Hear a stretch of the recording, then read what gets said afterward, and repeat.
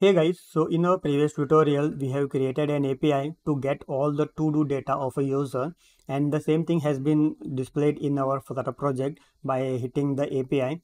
Okay, so as you can see, okay, so these are the data being stored by this user.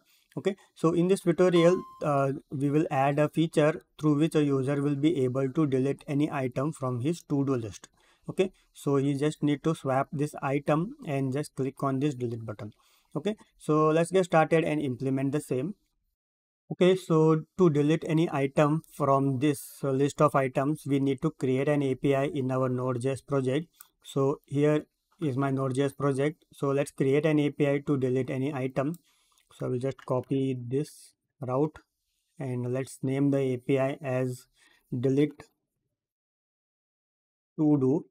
Okay so this is the api name okay and in controllers file over here let's create a function that is export function. Okay so i'll just copy paste and just change the name of this function. Delete to do. Okay so here i need to make some changes. So before that let me open my mongodb Compass and let me show you the data. Okay okay so over here to do. Okay so from the front end i am going to pass this id okay and if the user pass this id i want to delete all this item from this to do collection. Okay so here i need to pass any an id from the front end. Okay so if we see so when the user press on this item list so we are going to pass this item id this id okay? And we are going to delete that item from our database. Okay? So we are going to accept one id from the front end. And in services folder here let's create one more function a static function that will delete an item from the list. So delete to do.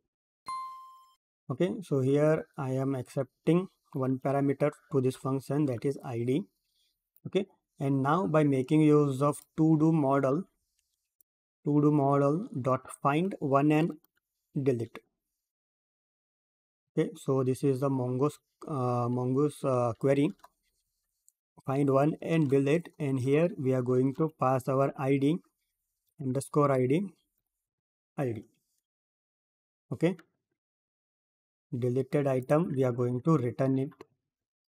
Call back okay? Okay so the same function let's use in our controller. So here we are going to pass id deleted item will be returned back to our front end. Okay? Okay so this function will get called from our uh, api route okay controller delete route. Okay so controller so let me check. Id we are going to accept and id we are going to pass it to our service folder. So inside service folder we are going to find one and delete the data from the database. Okay so let me save this. Okay so now let's implement the same thing in our front end in our Flutter project. Okay so i will just copy this API and in configuration let initialize our variable. Okay and now in dashboard page let's create a function.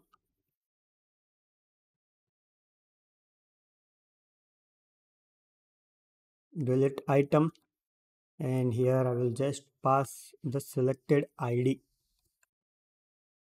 okay. And now let's call this function when the user press on this delete button by swapping the list view. Okay so it happens over here. Okay so slidable so delete. Okay. Okay so let me show you underscore id or refresh.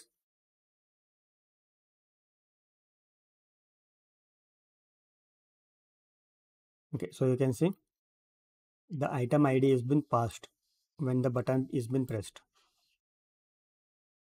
Okay so from here let's call the function that we have created above. So delete item.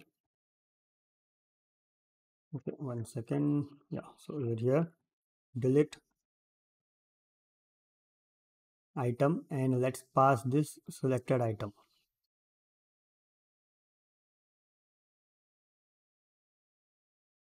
Okay. Now let's go to that function and let's check if we are getting receiving that id or not by printing it. Or refresh. Okay. So let's check.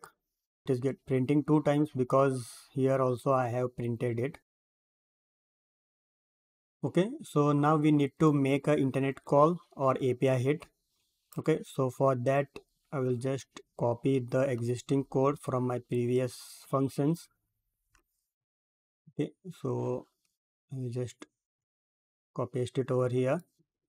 Okay so you can see in the back end we are accepting id as a parameter from the front end.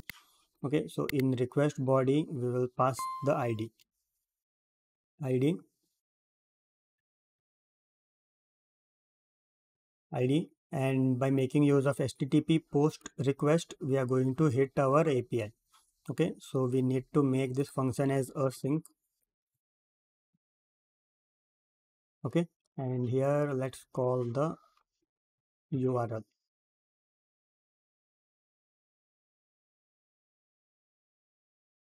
okay so item will get deleted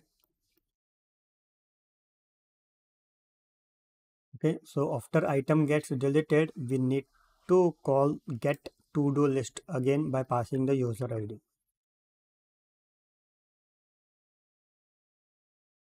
okay so over here if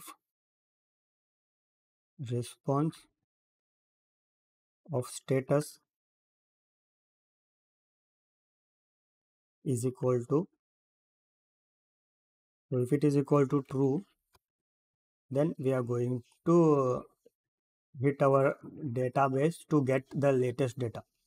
Okay so let's check if this is working. Okay so let me swap and let's check if item gets deleted. Okay so i think item is getting deleted so let's check this if this is getting deleted from the database or no. Okay so item got deleted. So let's go to our database and check okay so to do. So there are 10 so you can see now it became 7 okay so let me delete one more item. So this is new data. This is to do latest data. Okay so it is over here. Okay so i will just swap. The item got deleted. Let me uh, refresh. So you can see the item is getting deleted from our database also okay so that's all for this video tutorial. Thanks for watching. Please do subscribe. Proto Coders Point thank you